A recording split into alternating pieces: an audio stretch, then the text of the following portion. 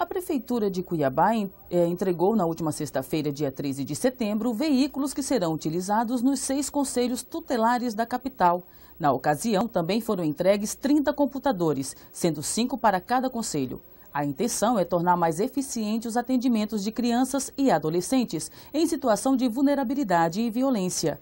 Conforme relatório da Secretaria Municipal de Assistência Social, no ano passado, os conselhos totalizaram 10 mil atendimentos. Já no primeiro semestre deste ano, foram realizados 9 mil atendimentos.